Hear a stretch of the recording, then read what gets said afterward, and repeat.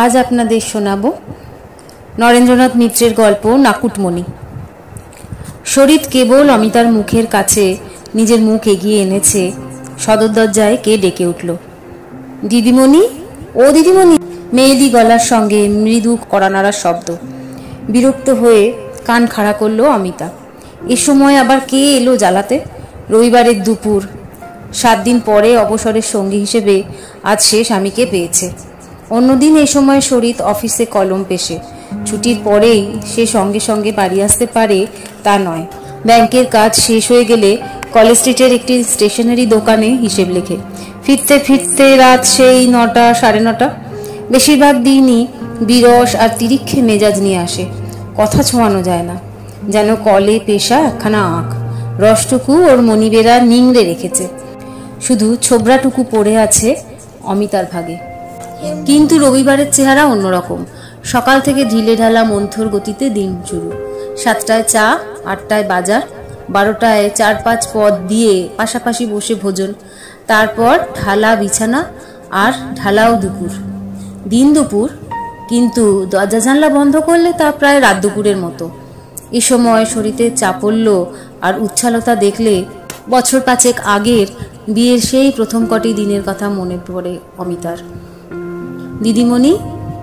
শরীর বললে, যাও, দেখো গিয়ে আমার কোন শ্যালিকা এলো আবার ওখানে। অমিতা মৃদু হাসলো। বোধহয় ঘুটে আলি। ছ আনা পয়সা বাকি ছিল, নিতে এসেছে। জ্বালাতন করে ছাড়লে। খাট থেকে বিরক্ত ভঙ্গিতে অমিতা এবার নেমে দাঁড়াল। তারপর ঘর থেকে বেরিয়ে সশব্দে সদরের হুড়কো খুলে ফেলে বলল, কে? মেয়েটি একপাশে সরে দাঁড়িয়েছিল এবার সামনে এসে বলল, আমি, দিদিমণি। মাঠের ওই ওপারের বস্তিটায় থাকি বলে আঙুল দিয়ে ছোট হিন্দুস্তানি বস্তিটা দেখিয়ে দিল। না, আধা বয়সী সেই ঘুটেবালি নয়।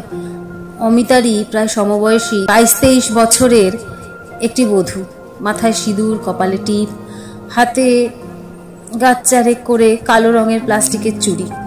পরনে সবুজ পাড় মিলের একখানা আটপৌরে আধময়লা শাড়ি। গায়ের রং কালো, কিন্তু গরমটুকু বেশ। মুখের ডোলটুকু ভারী মিষ্টি। লম্বা নাক, টানা টানা চোখ, পানের রসে লাল পাতলা ঠোঁট দুটিতে চেহারায় শ্রী আরও বাড়িয়েছে। অমিতা তার সদ্য শেখা রাষ্ট্রভাষা প্রয়োগ করে বলল, কেয়া চাতি হ্যায়? কি চাও? বাংলা বাদ সমস্তি? বউটি অমিতার হিন্দি উচ্চারণ শুনে হে খুব হেসে বলল, খুব খুব। আমি বহুত দিন এই কলকাতায় মুলুকে আছি, দিদি, আমার জন্ম থেকে। বাংলা বুঝি, বাংলা বলি, আর আমার আদমি তো বাংলায় চিঠি লেখে। সেই চিঠি পড়াতেই তো আপনার কাছে এসেছি, দিদি, বলে চিঠিখানা অমিতার সামনে বাড়িয়ে ধরল বউটি। নীল রঙের একখানা খাম। বাঁদিকে লেখা, by airmail, air letter. Amita বিস্মিত কৌতূহলে বলল, তোমার স্বামী এয়ারমেলে চিঠি লিখেছে? মানে হাওয়াই জাহাজে এসেছে তার চিঠি? বউটি হাসি মুখে বলল হ্যাঁ দিদি, তাই তো আসে। সে জাহাজে কাজ করে কি না? তার চিঠি হাওয়াই জাহাজেই আসে। ততক্ষণে ইংরেজিতে লেখা ঠিকানাটাও অমিতা পড়ে ফেলেছে। নাকুটমণি পটলবাবুর বস্তি, ডিহি শ্রীরামপুর রোড, কলিকাতা। তোমার নামই বুঝি নাকুটমণি হ্যাঁ দিদি, এসো ভেতরে এসো। অমিতা তাকে বাড়ির ভেতর নিয়ে এসে বাইরের বসবার ঘরখানায় ঢুকলো। একখানা তক্তবোস আর দু তিনখানা চেয়ারে সাজানো বৈঠক বৈঠকখানা। নাকুটমণি মেঝের উপর বসতে যাচ্ছিল। অমিতা বাধা দিয়ে বলল, ও কি, ওখানে কেন? তক্তপোষের উপর বসো। তক্তপোষের ওপর একখানা শতরঞ্চি পাতা। নাকুটমণি আল গচ্ছে তার এক কোনায় বসে পড়ে বলল, চিঠিটা এবার পড়ুন, দিদি। কিন্তু ওদিকে পাশের ঘর থেকে ঘন ঘন কাশির শব্দ আসছে। সেদিকে একবার তাকিয়ে অমিতা বলল, পড়ছি। তুমি একটু বসো নাকুটমণি আমি এলাম বলে। বলে ঘরে এসে স্বামীর দিকে চেয়ে অমিতা বলল, কি ব্যাপার? শরীর বলল, ব্যাপার আবার কি? নতুন বোনের সঙ্গে আলাপ করতে গিয়ে তো তার ভগ্নিপত্রীকে দেখি একেবারে বেমালুম ভুলে গেলে। বেশ, আমারও বন্ধু বান্ধবী আছে, আমিও তাদের সঙ্গে আলাপ করতে জানি। দাও আমার জামাটা দাও। অমিতা জামা দিল না। স্বামীকে আশ্বাস দিয়ে বলল, একটু বসো, চিঠিটা পড়ে দিয়ে আমি এক্ষুনি আসছি। যে সে চিঠি নয় এয়ারমেলের চিঠি। দেখেছ কোনো দিন এয়ারমেলের গর্বটা যেন অমিতার নিজের। শরীর হেসে বলল কই দেখি? অমিতা বলল "উহুম, এ চিঠি তোমাকে এর চেয়ে বেশি দেখাতে পারব না। ও বিশ্বাস করে আমার হাতে দিয়েছে। যাই চিঠিটা ওকে শুনিয়ে আসি। বাইরের ঘরে এসে একটু ফাঁক রেখে তক্তপোষের ওপরেই বসল অমিতা। তারপর চিঠিটা খুলে পড়তে লাগল। প্রিয়তমে নাকুট। পড়া থামিয়ে অমিতা হেসে বলল, ইস, একেবারে প্রিয়তমে নাকুট। তার হাসির কারণটা আন্দাজ করে নাকুটমণি লজ্জিত হয়ে বলল, ও ওরকমই লেখে দিদি, ওর কোনো সরম নেই। বোঝে না, এই চিঠি আমাকে অন্য মানুষকে দিয়ে পড়াতে হয়। অমিতা বলল, তাতে কি হয়েছে? কিন্তু প্রিয়তমে কথাটি বড় সেকেলে ওকে আজকালকার পাঠ শিখিয়ে দিও। চিঠিটা অমিতা এবার একটানা পড়ে গেল। প্রিয়তমে নাকুট। তুমি আমার শত শত প্রেম চুম্বন নিও। বাচ্চুকে, আমার বাচ্চুলালকে, আমার বাচ্চুমণিকে শত শত স্নেহ কিসি দিও। শাশুড়ি মাকে আমার প্রণাম জানিও। নাকুট তোমার জন্য সদাই আমার প্রাণ কান্দে। মন উদাস হইয়া যায়। কাজ ভালো লাগে না, নাওয়া খাওয়া ভালো লাগে না, রাত্রে দুই আঁখে ঘুম আসে না। চুপ করিয়া সমুদ্রের দিকে চাহিয়া থাকি। আমার চোখ জ্বলিয়া যায়। নাকুট আমার বুক পুড়িয়া যায়। কতদিনে তোমাকে বুকে করিয়া আমার প্রাণ জুড়াইব? নাকুট, আমাদের জাহাজ এখন কেপটাউনে আসিয়াছে। এক মাস জাহাজ এখানেই থাকিবে। ওপরের ঠিকানায় চিঠি দিও, তবেই পাইব। আগের মতো ঠিকানা ভুল করিও না। চিঠি মারা যাইবে। চিঠি মারা গেলে, নাকুট, আমিও মারা যাইব। তোমার পত্র মতো আরও পঞ্চাশ টাকা পাঠাইলাম, পরে আরও পাঠাইব। এই টাকা হইতে বাড়িওয়ালাকে ভাড়া দিও। তোমার শাড়ি কিনিও, বাচ্চুর জামা কিনিও। পত্র পাইয়াই পত্র দিও। তোমার পত্র না পাইলে আমি চিন্তায় থাকি। তোমার পত্র পাইলে আমার মনে শান্তি আসে। তাই বুঝিয়া পত্র দিও। আর তোমার চোখে, তোমার গালে, তোমার ঠোঁটে, তোমার বুকে, তোমার সব জায়গায় আমার হাজার হাজার, লক্ষ লক্ষ প্রেম চুম্বন নিও। তোমার স্বামী পান্নালাল। চিঠি শেষ করে অমিতা স্মিত মুখে নাকুটমণির দিকে তাকালো। একেবারে হাজার হাজার লক্ষ লক্ষ? কি সাংঘাতিক? নাকুটমণি লজ্জিত হয়ে বলল, আর বলবেন না দিদিমণি, কোনো সরম নাই। কিন্তু চিঠিটার জবাব যে আপনাকে লিখে দিতে হবে বহু জরুরি কথা আছে। অমিতা বলল, আজই লিখতে হবে নাকি? নাকুটমণি বলল হ্যাঁ দিদি, তাহলে বড়ই উপকার হয়। অমিতা একটু ইতস্তত করে বলল আচ্ছা বসো তাহলে, আমি এক্ষুনি আসছি। ঘরে গিয়ে অমিতা স্বামীকে বলল তুমি ততক্ষণ খবরের কাগজটা দেখো, আমি দুখাতা লিখে দিয়ে আসছি। চিঠি লিখবার আগে অমিতা অবশ্য নাকুটমণি সম্বন্ধে দু চার কথা জিজ্ঞেস করে নিল। নাকুটমণির আত্মপরিচয় দিয়ে বলল, সামনের মাঠটুকু পেরিয়ে যে হিন্দুস্তানি বস্তি, তার একখানা ঘরে তারা ভাড়া থাকে। ভাড়া কম নয়, মাসে মাসে বারো টাকা করে গুনে দিতে হয়। নাকুটমণির সঙ্গে থাকে তার বুড়ো বিধবা মা আর ছেলে বাচ্চুলাল বছর পাঁচেক বয়স হয়েছে বাচ্চুর? না, তারপর আর কোনো ভাই বোন হয়নি। ঠাকুরমণির স্বামী এক বাঙালি বাবুর কাছে বাংলা লেখাপড়া শিখেছিল।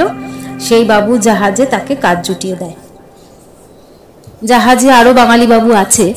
তাদের সকলের সঙ্গেই পান্নালালের দোস্তি। লেখাপড়া জানে বলে বাবুরা সবাই তাকে ভালোবাসে। খালাসিদের মধ্যে সে সর্দার। খুব মান সম্মান আছে জাহাজে। বস্তির মধ্যে আর কেউ বাংলা পড়তে জানে না। না জানায় নাকুটমণির পক্ষে অবশ্য ভালোই হয়েছে। যদি জানতো, তার চিঠি ওরা খুলে পড়তো। বস্তির লোকজন ভালো নয় তো? নাকুটমণির পাশের ঘরে রুক্মিণীর চিঠি প্রায়ই খোয়া যায়। সেদিক থেকে নাকুটমণির ভাগ্য ভালো। তার চিঠি কেউ ছোঁয় না।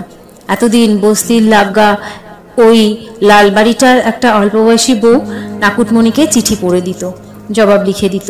কিন্তু তার ছেলে পুলে হবে বলে সে বাপের বাড়ি চলে গেছে। বুড়ো শ্বশুর শাশুড়ি আছেন, তারা লোক ভালো। কিন্তু তাদের দিয়ে তো আর এসব চিঠি পড়ানো যায় না, লেখানো যায় না। তাই খুঁজে খুঁজে অমিতাকে বের করেছে নাকুট আঁচলের খুঁট থেকে একখানা ভাঁজ করা ময়লা কাগজ। অমিতার দিকে এগিয়ে দিয়ে নাকুটমণি বলল, চিঠিটা এবার লিখে দিন দিদিমণি।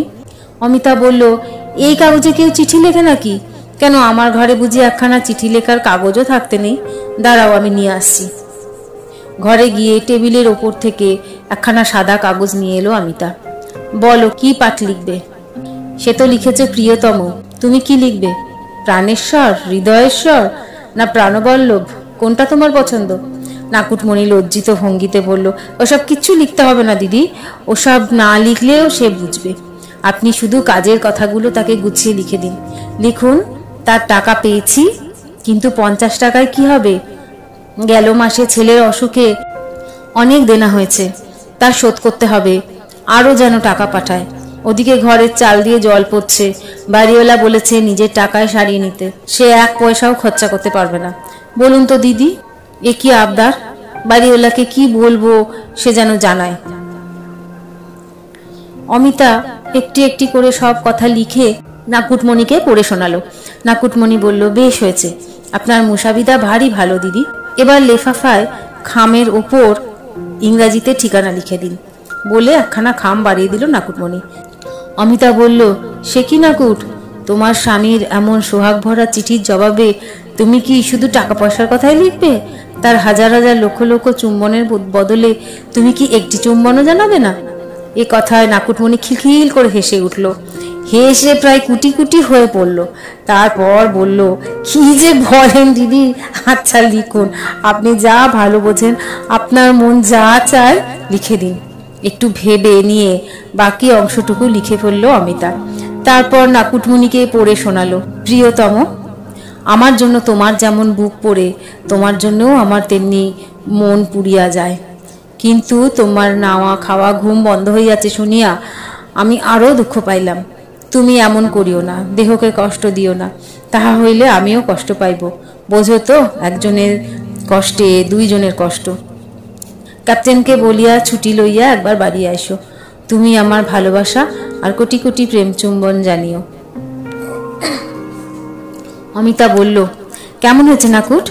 তোমার মনের কথা লিখতে পেরেছি তো? পছন্দ হয়েছে? হয়েছে, দিদি হয়েছে। নাকুট আবার হেসে উঠল। তারপর ঠিকানা লেখা খামখানা আচরের তলায় লুকিয়ে বাড়ির দিকে চলল। শরীর অন্য দৌড় দিয়ে ততক্ষণে পাড়ার বন্ধুদের সঙ্গে আড্ডা দিতে বেরিয়েছে। পানালালের চিঠিখানা নাকুটমণির কাছে থেকে চেয়ে রেখেছে অমিতা। সেই চিঠি বের করে একা একা আরেকবার পড়ল। বেশ চিঠি। অমিতার জবাবটাও মন্দ হয়নি। বছর তিনেকের মধ্যে স্বামীকে চিঠি লিখবার কোনো সুযোগ হয়নি অমিতার। ক বছর ধরে কাছে কাছেই আছে। মাঝে মাঝে দু এক হপ্তার জন্য বেহালায় বাপের বাড়ি যায়, তখনও দুজনের মধ্যে চিঠি লেখালেখি হয় না। অমিতার বাবার বন্ধু নিবারণ মুখুজ্জের বাড়িতে ফোন আছে, একেবারে পাশের বাড়ি। শরীর অফিস থেকে সেখানে ফোন করলে নিবারণ বাবুর মেয়ে ইলা নীলারা অমিতাকে ডেকে দেয়। ফোনেই খোঁজ খবর নেওয়া চলে। কিন্তু আজ পান্নালালকে চিঠি লেখার পর অমিতার মনে হলো, ফোনের চেয়ে চিঠিই ভালো। আর সে চিঠি প্রিয়জনের কাছ থেকে যত দূরে বসে লেখা যায়, ততই মধুর। এদিক থেকে নাকুটমণি খুব ভাগ্যবতী। কত দূর দূরান্তর, দেশ দেশান্তর থেকে তার স্বামী তাকে চিঠি লেখে। আর সাত সমুদ্র তেরো নদী পার হয়ে সেই চিঠি নাকুটমণির হাতে এসে পৌঁছয়। আহা ভেবেও সুখ। অজানা সমুদ্রে চলন্ত জাহাজে বসে রাতের পর রাত জেগে একজন আর একজনকে চিঠি লিখছে। চিঠিতে করে হাজার হাজার চুম্বন পাঠাচ্ছে। খালাসি হলে কি হবে? পান্নালালের মনে বেশ রস আছে। চিঠির প্রত্যেকটি লাইনে স্ত্রীকে সোহাগ আর ভালোবাসার কথা জানিয়েছে সে। নামটিও বেশ সুন্দর, পান্নালাল। বেশ গাল ভরা কথা। শুনলেই বেশ স্বাস্থ্যবান, সুপুরুষের মূর্তি যেন চোখের সামনে ভেসে ওঠে। আর কেপটাউন কথাটিও বেশ সুন্দর। কে জানে, সমুদ্রের তীরে বন্দরটি হয়তো ভারী অপরূপ দেখতে। অমিতার হঠাৎ কি খেয়াল হলো, দোতলা চক্রবর্তীদের ছেলে দিলীপ ফার্স্ট ক্লাসে পড়ে। তার কাছ থেকে নিয়ে এলো অ্যাটলাসখানা আফ্রিকার মাপ বের করে মহাদেশের একেবারে দক্ষিণ প্রান্তে দেখে নিল বন্দরটিকে। ম্যাপে অবশ্য ছোট্ট একটি বিন্দু কিন্তু আসলে না জানি কত রহস্য এই বিন্দুটির মধ্যে। কত বিচিত্র রকমের মানুষ, কত বিচিত্র তাদের ভাষা, পোশাক, আচার। দিনের বেলায় পাল্লালাল তাদের ভেতর দিয়ে ঘুরে বেড়ায় আর রাত্রে জাহাজে বসে নীল সমুদ্রের দিকে চেয়ে চেয়ে বউকে চিঠি লেখে। সমুদ্রের হাওয়ায় চিঠির পাতা ওড়ে, ঢেউয়ের ছিটে এসে চিঠির লেখা ভিজিয়ে দেয়। সমুদ্রচারী পান্নালালের চিঠি সমুদ্রের জল হাওয়া বয়ে নিয়ে আসে। ম্যাপে আঁকা আটলান্টিক মহাসমুদ্রের দিকে অমিতা কিছুক্ষণ অপলোকে চেয়ে থাকে। স্কুলে পড়বার সময় ভূগোলটা মোটেও ভালো লাগতো না অমিতার, কিন্তু আজ ভারী ভালো লাগতে লাগল। ভাবলো দিলীপের কাছ থেকে প্রবেশিকা ভূগোলখানা নিয়ে আফ্রিকার বিবরণটা আরেকবার পড়ে নেবে। দিন দশেক বাদে আবার একখানা এয়ারমেলের চিঠি হাতে হাজির হলো নাকুটমণি। হেসে বলল, আপনার বহুত গুণ আছে দিদি। চিঠি লেখার সঙ্গে সঙ্গে জবাব এসেছে। এর আগে এত তাড়াতাড়ি কোনোদিন সে চিঠি দেয়নি। অমিতা লজ্জিত ভঙ্গিতে হাসলো, বাহ, তোমার স্বামী তোমাকে চিঠি লিখেছে, আর গুণ হলো বুঝি আমার? পানালাল লিখেছে, আমার নাকুটমণি, আমার মুকুটমণি। এবার তোমার চিঠি পাইয়া বহুত আনন্দ হইল। এই চিঠিতে তুমি তোমার দিল খুলিয়া দিয়েছ। বন্ধ দরজার খিল খুলিয়া দিয়েছ। এই চিঠি বিলকুল নতুন রকম হইয়াছে। তুমিও যেন নতুন মানুষ হইয়া গিয়াছ নাকুট। আমার দুই দোস্ত তোমার চিঠি লইয়া কারাকারি করিয়া পড়িয়াছে। আফসোস করিয়া বলিয়াছে, তাহাদের বৌদে চিঠি এত ভালো হয় না। দুই দোষকে চিঠি পড়াইলাম বলিয়া রাগ করিও না। বাহির হইতে তাহারা কতটুকুই বা দেখিবে, কতটুকুই বা বুঝিবে। আমাদের ভিতরের কথা তাহারা কিছুই টের পাইবে না। আমার নাকুটমণি, তুমি আমাকে যে কোটি কোটি প্রেমচুম্বন পাঠাইয়াছ, তাহা আমি লইলাম, হৃদয় পাতিয়া লইলাম। তোমার চুম্বনের সাগরে আমি স্নান করিলাম, আমার সব জ্বালা জুড়াইল। আমার নাকুটমণি, তুমি আমার অগন্তি প্রেম চুম্বন নিও। আকাশে যত তারা, সাগরে যত ঢেউ, তার চাইতেও বেশি চুম্বন জানিও। এরপর সাংসারিক কথা লিখেছে পান্নালাল ফুরসত পেলেই সে বেশি টাকা পাঠাবে। নাকুটমণি যেন খুব বুঝে সুঝে হিসেব করে চলে। দিনকাল বড় মাঙ্গা। পাড়াপড়শির সঙ্গে যেন বিবাদ বিসংবাদ না করে নাকুট। বাড়িওয়ালাকে যেন বুঝিয়ে সুঝিয়ে রাখে। পান্নালাল কলকাতায় এসে যা হয় ব্যবস্থা করবে। ছেলেকে স্নেহ আর শাশুড়িকে প্রণাম জানিয়ে চিঠি শেষ করেছে পান্নালাল কিন্তু অবৈষয়িক কথাগুলো অমিতার মনে বারবার ধ্বনিত হতে লাগিল। আকাশে যত তারা, সাগরে যত ঢেউ, পান্নালালে চুম্বনের সংখ্যা নাকি তার চাইতেও বেশি। এর উত্তরে নাকুটমণির হয়ে কি লিখবে অমিতা? এই চিঠির জবাব দেওয়া তো বড় সহজ হবে না। এবার আর সাদা কাগজ নয়। বাক্স খুলে নীল রঙের প্যাকটা বার করল অমিতা। বিয়ের প্রথম বছর কিনেছিল। এখনও অনেকগুলি পাতা বাকি। বিলিতি এসেন্সের সৌরভে ন্যাপথলিন আর শাড়ি ব্লাউজের এক অদ্ভুত মিশ্রিত গন্ধে প্যাডটা মাখামাখি। সেই প্যাডের পাতায় চিঠি লিখতে বসল অমিতা। নাকুটমণি আপত্তি করে বলল, ও কি দিদি, আপনার এত দামি কাগজ কেন খরচা করছেন? অমিতা হেসে বলল, তাতে কি হয়েছে? কাগজের কি কোনো আলাদা দাম আছে নাকুট? চিঠির দামেই তার দাম। নাকুটমণি যদি পান্নালালের সঙ্গে কথায় নাই পেরে ওঠে প্যাডের রং, দামি রঙিন কাগজ দিয়ে পাল্লা দিক। চিঠির সবটুকু যদি কেবল কথায় জানাতে হয় তাহলে এসব আছে কেন? এক মাস পরে পান্নালালদের জাহাজ লন্ডন যাত্রা করল। মাঝখানে আফ্রিকা, ইউরোপ, কত যে সাগর, উপসাগর, শহর বন্দন পার হয়ে এলো, তার আর সীমা নেই। আর সব বন্দর থেকেই নাকুটমণির নামে চিঠি আসতে লাগল। চিঠির ভাষা প্রায় এক। সব চিঠিতে এই সোহাগ জানাবার ধরন একই রকমের। কিন্তু তবু যেন তা পুরনো হয় না। ভাষা পুরনো হলেই কি প্রেম পুরনো হয়? মন পুরনো হয় না মনের মানুষ পুরনো হয়? দু একখানা চিঠিতে অবশ্য পান্নালালকে নানা দেশের বর্ণনার কথা জানাবার জন্য অনুরোধ করল অমিতা। কিন্তু পান্নালালের যেন সে খেয়ালই নেই, কেবল প্রেম আর প্রেম। বাংলা ভাষার কাছ থেকে কেবল ওই একটি জিনিসই শিখেছে পান্নালাল। স্ত্রীকে প্রেমপত্র কি করে লিখতে হয়, তাই শুধু জেনে নিয়েছে। আর যেন কোনো কিছু জানাবার প্রয়োজনই নেই। প্রেম ছাড়া আর সব কথাই যেন বাহুল্য, সব কথাই অবান্তর। অমিতা এক একদিন স্বামীকে জিজ্ঞেস করেছে আচ্ছা ওসব জাহাজে কি কি চালান হয়? কোন কোন রুট দিয়ে চলে এই জাহাজগুলো? শরীর বিরক্ত হয়ে জবাব দিয়েছে, কি করে জানব? আদার ব্যাপারে জাহাজের খবরে দর কি দরকার? আমার কি এত সময় আছে যে ঘরে বসে বসে কেবল জাহাজ আর খালাসি ভাবনা ভাববো? আমাকে কাজকর্ম করে খেতে হয়। অমিতা বলল আর আমাকে বুঝি কিছু করতে হয় না? পানালালের জাহাজ লন্ডনে এসে পৌঁছেছে। নাকুটমণি এলো চিঠি পড়াতে আর চিঠি লেখাতে। অমিতা বলল, লন্ডন কোথায় জানো নাকুটমণি? নাকুটমণি বলল, না দিদি, কি করে জানব? আহা বেচারা, ওর স্বামী কত দেশ বিদেশ ঘুরে বেড়ায় আর ও কিচ্ছু জানে না। কিন্তু অমিতা জানে, লন্ডন কেপটাউনের মতন অত অচেনা শহর নয়। লন্ডনের অনেক কথাই সে বইতে পড়েছে। এমনকি লন্ডন ফেরত একজন বান্ধবীও আছে তার। বিলেত থেকে ডাক্তারি পাশ করে এসেছে।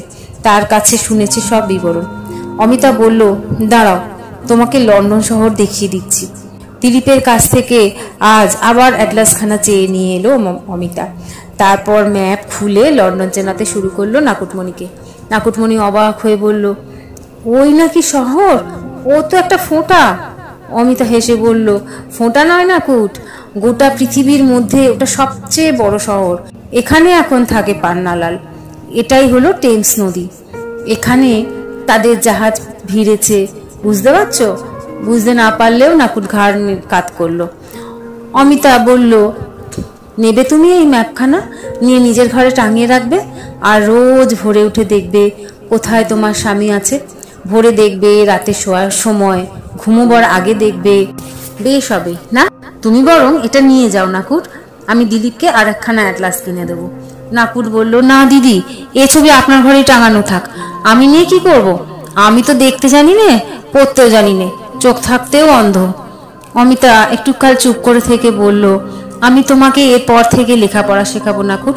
তুমি নিজেই তোমার স্বামীর কাছে চিঠি লিখতে পারবে। নাকুটমণি, অমিতার ছেলে মানুষইতে না হেসে পারল না। সে যখন হবে, তখন হবে। আজ তা আপনি তাড়াতাড়ি চিঠিটা লিখে দেন, লক্ষ্মী দিদি। ওদিকে আমার মেয়েলা কাজ। মাস দুয়েকের মধ্যে আরও চার পাঁচখানা চিঠি আসা যাওয়া করল। তারপর একদিন পান্নালালে চিঠি পড়ে অমিতা লাফিয়ে উঠল। নাকুট, কি খাওয়াবে বলো? নাকুট বলল, কি আবার খাওয়াবো দিদি? কেন কি হয়েছে? অমিতা ও সল্লাসে বলল পান্নালাল আসছে নাকুট। এই সেপ্টেম্বর মাসে তাদের জাহাজ এসে পৌঁছবে। আনুমানিক একটা তারিখও দিয়েছে ছাব্বিশে সেপ্টেম্বর। অমিতা হঠাৎ উঠে গিয়ে দেয়ালে টাঙানো ক্যালেন্ডারের সামনে দাঁড়াল। এই দেখো নাকুট, এই হলো সেপ্টেম্বর মাস, আর এই হলো ছাব্বিশ তারিখ। আজ সবে দোসরা, আর চব্বিশটি দিন মোটে বাকি। ভেতরের ঘর থেকে একটা রঙিন পেন্সিল নিয়ে এলো অমিতা। ছাব্বিশে সেপ্টেম্বরের চারদিকে সযত্নে একটা গোল বৃত্ত টানলো। তারপর বলল, এই দেখো, চিহ্ন দিয়ে দিলাম। এই দিন সে আসবে। তুমি এই ক্যালেন্ডারখানা নিয়ে যাও না কুট, আর এই পেন্সিলটাও। একটা করে দিন যাবে, আর পেন্সিল দিয়ে কেটে কেটে দেবে। তারপর আসল দিনটিকে আর কাটবে না। বেশ হবে, নিয়ে যাও তুমি। নাকুট বলো না দিদি, ওসব আমি পারব না। ওসব আপনিই করুন। পড়ুন তো চিঠিখানা, কি লিখেছে? অন্য সব কথার পর পান্নানাল লিখেছে, আমার প্রিয়তমে নাকুটমণি, মুকুটমণি, এবার সত্যিই আমার প্রাণ জুড়াইবে। তোমাকে বুকে তুলিয়া লইয়া আমার প্রাণ জুড়াইবে এবার। তোমাকে বুকে তুলিয়া লইয়া এবার আর কলম দিয়া নয়, মুখ দিয়াই তোমার মুখচুম্বন করিতে পারিব। ভাবিতেও আনন্দে গায়ে আমার কাঁটা দিয়া উঠিতেছে। দুই ঠোঁটের একটি চুম্বন, কলমের শত শত চুম্বনের চাইতেও বেশি নাকুট। জবাব লিখিয়ে নিয়ে নাকুটমণি চলে গেল। চিঠিখানা রইল অমিতার কাছে। দিন কয়েক পর ক্যালেন্ডারের খানার দিকে এগিয়ে শরীর অবাক হয়ে বলল, ও কি, তারিখগুলোকে অমন করে কেটে দিচ্ছ কেন? আর ছাব্বিশ তারিখটাই বা অমন একটা গোলাকার আংটি পরিয়ে রেখেছ কিসের জন্য? অমিতা লজ্জিত হয়ে বলল, নাকুটমণির সুবিধার জন্য। ওই দিন ওর স্বামী পান্নালাল কলকাতায় আসছে। নাকুট তো ক্যালেন্ডার দেখতে জানে না, ওই দাগ দেখে বুঝবে কটা দিন গেল। শরীর পরিহাসের সুরে বলল, হুম, আমার আর বুঝতে কিছু বাকি নেই। ওই খালাসিবাটা আমার সর্বনাশ করবে দেখছি। দূর থেকেই এমন করে টানছে। কাছে এলে না জানি অমিতা তাড়াতাড়ি স্বামীর মুখে হাত চাপা দিল। ছি ছি ছি, তোমার মুখে কি কোনো আগল নেই? যাও, গঙ্গা জল দিয়ে মুখ ধুয়ে এসো শরীর অফিসে বেরিয়ে গেলে ক্যালেন্ডারখানা আর বাইরের ঘরে টাঙিয়ে রাখল না অমিতা। ভেতরে এনে বিছানার নিচে লুকিয়ে রাখল। একদিন পাঁচ টাকার একখানা নোট ভাঙাতে এলো নাকুটমণি। সঙ্গে ছেলে। নোটের রেজগি দিয়ে অমিতা বলল, আর মাত্র দুটো দিন বাকি। স্বামী এলে দেখিয়ে দেবে তো? আলাপ করিয়ে দেবে তো? নাকি ঘরের মধ্যে দিনরাত লুকিয়ে রাখবে? নাকুটমণি হেসে বলল, বেটা ছেলে, কি কি সেভাবে রাখা যায় দিদিমণি? আপনার ভাবনা নেই, এলে সঙ্গে করে নিয়ে আসব এখানে। অমিতা ঘরে গিয়ে জেলি আর বিস্কুট এনে পাল্লালালের ছেলের হাতে দিল। তারপর তার গাল টিপে দিয়ে বলল, বলো তো বাচ্চু, কে আসছে? বাচ্চু হেসে উত্তর দিল, মেরে বাবজি ছাব্বিশ তারিখে নয়, আরও দুদিন দেরি করে আঠাশ তারিখে গঙ্গার ঘাটে এসে লাগল পান্নালালদের সৌদাগরি জাহাজ। নাকুটমণি কথা রাখল। সেই দিনই সন্ধ্যাবেলা স্বামীকে নিয়ে এলো অমিতার সঙ্গে আলাপ করিয়ে দিতে। শরীর তখনও পার্ট টাইম কাজ সেরে আসেনি। অমিতা বাইরের ঘরে ওদের বসতে দিল। নাকুটমণি পরিচয় করিয়ে দিয়ে বলল, এই আমার স্বামী, আর এই আমাদের সেই দিদিমণি, সব চিঠি লিখে দিয়েছেন, ভারী উপকারী মানুষ। অমিতা একবার তাকিয়েই তাড়াতাড়ি চোখ নামিয়ে নিল। বড় নিরাশ হয়েছে সে। এই কি সেই দূর দেশের নীল সমুদ্রের নাবিক? নাবিকের নীল পোশাক ছেড়ে পানালাল অবশ্য নাগরিকের ধুতি পাঞ্জাবি পরে এসেছে, কিন্তু এই কি চেহারা? যেমন বেটে, তেমনি কালো চল্লিশ বিয়াল্লিশ বছর বয়স, ঠোঁটের উপর বিশ্রী ধরনের বাটারফ্লাই গোপ। আজকাল এমন গোপ কেউ রাখে না। ভাঙা গালে চোয়াল দুটো জেগে রয়েছে। লম্বা ঝুলপি গালের অনেকখানি পর্যন্ত নামানো মোটা মোটা কালো কালো ঠোঁট দুটো ঠিক একেবারে জোঁকের মতন। মাথায় ঝাঁকড়া চুল, চোখ দুটো লালচে। চাউনিও যেন কেমন তেচ্ছা তেচ্ছা পানালাল জোর হাত কপালে ঠেকিয়ে বলল, নমস্কার দিদিমণি, আপনিই তিনি? আশা অবধি নাকুটমণি বলছে আপনার কথা। তাহলে তো ভারী রস দিয়ে লিখতে পারেন দিদিমণি? হে হে হে। কৌতুকে হেসে উঠল পান্নালাল। আরক্ত মুখে অমিতা ফের ওর দিকে তাকালো। পানের ছোপ ধরা অসমান কয়েকটি দাঁত হাসলে কুৎসিত দেখায়। পানালাল তার প্রশস্তি শেষ করল। সারা জাহাজ সেই রসের চিঠি পড়ে একেবারে মাতোয়ারা। হে হে হে।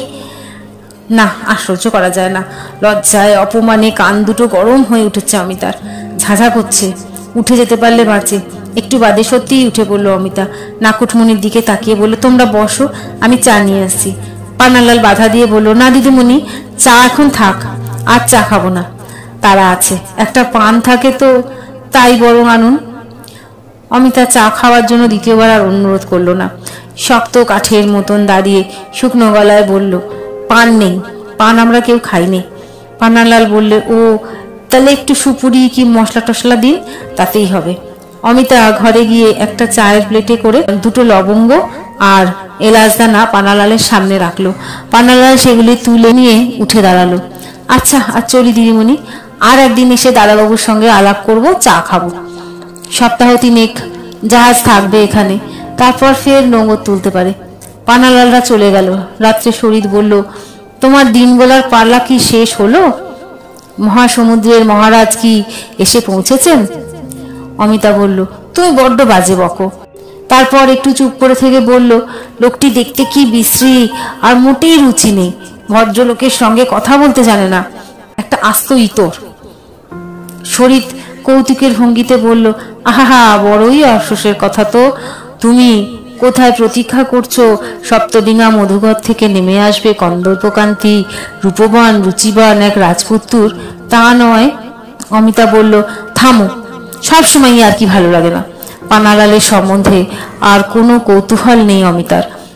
আর কোনো খবরও সে শুনতে চায় না। তবু নানা রকম বিশ্রী বিশ্রী সব খবর কানে আসতে লাগল। পান্নালাল রাত্রে মদ খেয়ে এসে বস্তির মধ্যে হল্লা করছে, বউকে ধরে মেরেছে। ছি ছি ছি, লোকটা এত ইতর। আর এই লোকই কিনা নাকুটমণিকে এত ভালো ভালো চিঠি লিখতো? লক্ষ লক্ষ প্রেম চুম্বন না তো? নাকুটমণি আর আসে না। সেদিন বিকেলবেলায় অমিতাদের বাড়ির সামনে গলি দিয়ে কোথায় যাচ্ছে, অমিতা দেখতে পেয়ে তাকে হাতের ইশারায় ডাকলো, নাকুটমণি, শোনো। আর যে এদিকে মারাও না, ব্যাপার কি? নাকুটমণি দৌড়ের কাছে এসে বলল, সময় পাইনি দিদিমণি। অমিতা বলল, এসো, বসো এসে। তোমাকে একটি কথা জিজ্ঞাসা করব, কিছু মনে করো না। নাকুটমণি ঘরে এসে বসল। অমিতার মুখের দিকে তাকিয়ে বলল, বলুন দিদি, কি বলবেন? অমিতা একটু ইতস্তত করে বলল, আমাদের নতুন ঝি বিমলা তোমাদের ওই বস্তির মধ্যেই থাকে। সে তোমাদের সম্বন্ধে নানা রকম কথা বলছিল। রোজ রাত্রে নাকি তোমরা ঝগড়া মারামারি করো। তোমাদের জ্বালায় সারা বস্তির লোক নাকি অস্থির হয়ে উঠেছে? কি ব্যাপার বলো তো? দেড় বছর বাদে কটা দিনের জন্য স্বামী ঘরে এসেছে। এত গোলমাল কিসের তোমাদের? নাকুটমণি একটু কাল চুপ করে থেকে বলল। আপনি যখন সবই শুনেছেন, আপনার কাছে কিছু গোপন করব না, দিদি। আপনি জিজ্ঞেস না করলেও আমি সবই বলতাম। আমার উপর আপনার বহুত দরদ আছে। বড় দুঃখে, বড় অশান্তিতে আছি, দিদি। আমার আদমি মানুষ নয়। অমিতা বলল, সে কি নাকুট? আরও কিছুক্ষণ নত মুখে চুপ করে রইল নাকুটমণি। তারপর বলল, বড় শরমের কথা দিদি। বিদেশি বন্দর থেকে এবারেও খারাপ রোগ ব্যায়াম নিয়ে এসেছে। আমি বলেছি, তুই দাবাখানায় যা, ও ওষুধপত্র খেয়ে সে রোগ সারা। নইলে আমি ছুঁতে দেবো না। আমার কাছে শুতে দেবো না। কিন্তু ও তা শোনে না। রোজ হামলা করে। ও আমার সর্বনাশ করছে, দিদি। আমার মধ্যে বিষ ঢুকিয়ে দিয়েছে। বাচ্চুর পর তিন তিনটে বাচ্চা আমার পেটেই মারা গেল। এবার ওকে আমি আজ জায়গা দিচ্ছি না। লজ্জায় মুখ আরক্ত হয়ে উঠল অমিতার একটুক্ষণ সে কোনো কথাই বলতে পারল না। একটু বাদে বলল, এই নিয়ে তোমাকে বুঝি খুব মারে? নাকুটমণি বলল, আমিও ছেড়ে দিই নে। আমিও আচ্ছা করে দু চার ঘা লাগিয়ে দিই। এবার অমিতার হাসি পেল, তুমি পারো ওর সাথে? নাকুটমণি বলল, পারব না কেন দিদি? আসলে ও দুবলা। ও আবার একটা মরদ নাকি? ঘৃণায়, বিতৃষ্ণায় অমিতার সর্বঙ্গ রি করতে লাগল। ছি ছি ছি। এমন কুৎসিত, ব্যাধিগ্রস্ত, লম্পট, দুশ্চরিত্র পুরুষের জন্য সে নাকুটমণির হয়ে জবাব দিয়েছে? ভাবতেও মনটা সংকুচিত হয়ে উঠল। রাত্রে স্বামীর কাছে অভিযোগ জানালো অমিতা। শুনেছ পান্নালালের কীর্তি? লোকটা একেবারে পাক্কা বদমাইশ। ছি, শরীর বিস্মিত না হয়ে বলল, এ আর নতুন কি? ওরা তো ওই রকমই হয়। ঘাটে ঘাটে ওদের ঘর, বন্দরে বন্দরে ওদের প্রিয়া। প্রেমের বীজের সঙ্গে রোগের বীজাণুও তারা বিদেশি নাবিক বন্ধুদের উপহার দেয়। বলে, যা চেয়েছ, তার চেয়ে কিছু বেশি দিব। অমিতা বলল, থামো থামো, ছি। লোকটা যে এত খারাপ, আমি ভাবতেই পারিনি। অথচ কি সুন্দর সুন্দর সব চিঠি, সব মিথ্যে সব মিথ্যে। পানালাল যেন শুধু নাকুটমণির সঙ্গেই বিশ্বাসঘাতকতা করেনি। অমিতাকেও ঠকিয়েছে। তিন সপ্তাহ বাদে পান্নালাল চলে গেল। যাবার আগে দেখা করতে এসেছিল, কিন্তু অসুখের অচিলায় অমিতা ওর সামনে বেরোয়নি। আরও মাস দেড়েক কাটল। পান্নালাল নাকুটমণির কথা প্রায় ভুলেই গিয়েছিল অমিতা। কিন্তু সেদিন সকালে কাজ করতে এসে বিমলা খবর দিল, ভালো কথা বৌদি, নাকুটমণির অসুখ। ওর উঠে এসে দেখা করার সাধ্য নেই। দুপুরবেলায় আপনাকে দয়া করে যেতে বলেছে। কদিন ধরেই বলছে, আমার বলতে মনে থাকে না। অমিতা জিজ্ঞাসা করল, কি আসো বিমলা? বিমলা মুখের অপরূপ ভঙ্গি করে বলল, কি জানি বৌদি, জ্বর, আরও কি কি সব? ওর স্বামী তো মনুষ্যী নয়, এক একবার আসে যত সব জাহাজি রোগ নামিয়ে দিয়ে যায়। অমিতা মুহূর্তকাল স্তব্ধ হয়ে রইল। একবার ভাবলো, যাবে কি যাবে না? কিন্তু নাকুটমণির তো কোনো দোষ নেই। যত দোষ সেই লম্পট বদমাইশটার। এত করে যখন বলছে নাকুটমণি একবার দেখে আসাই উচিত। তাছাড়া দূর তো নয়।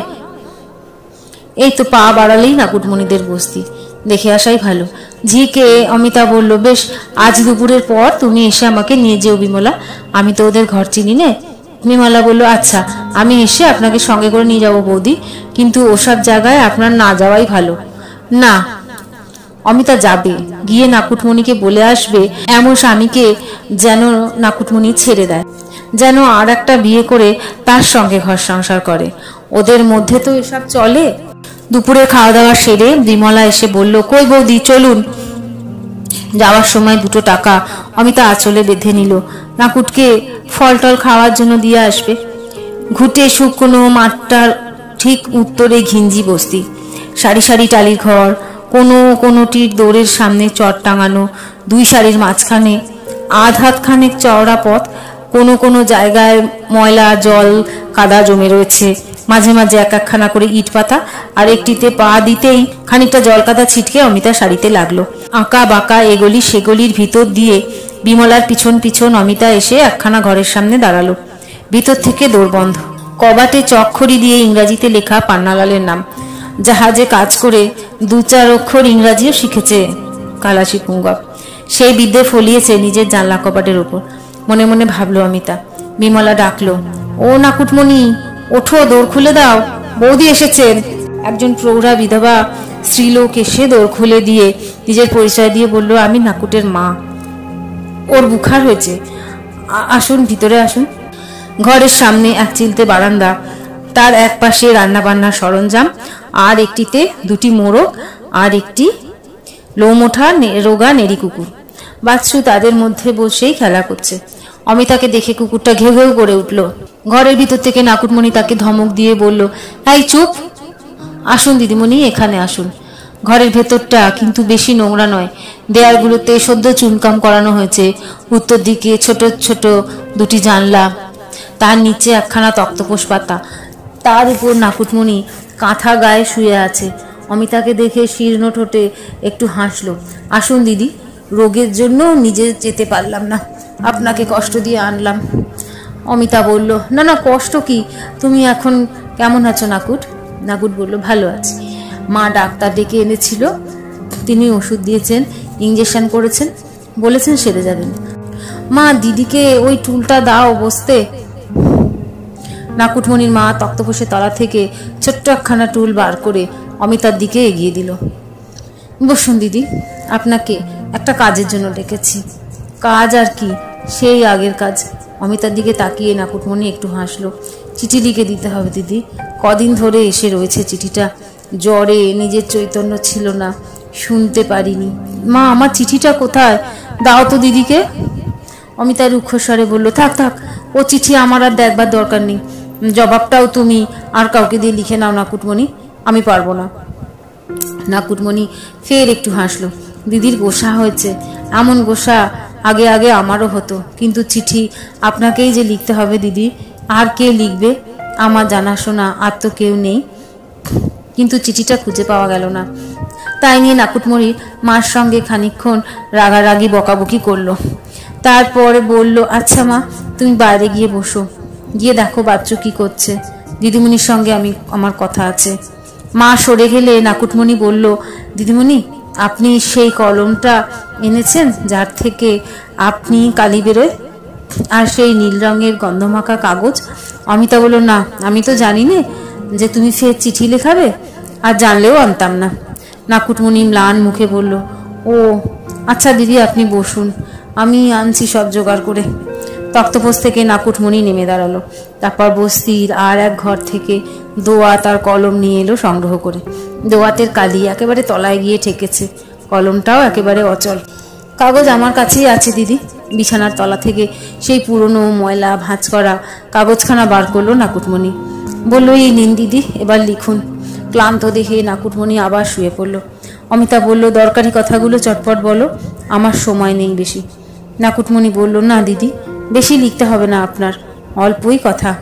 চিঠির গোড়ায় কোনো রকম সম্বোধন দিল না অমিতা। নাকুটমণির কথা মতো সাংসারিক বিষয়গুলি সংক্ষেপে লিখে তাকে পড়ে শোনালো।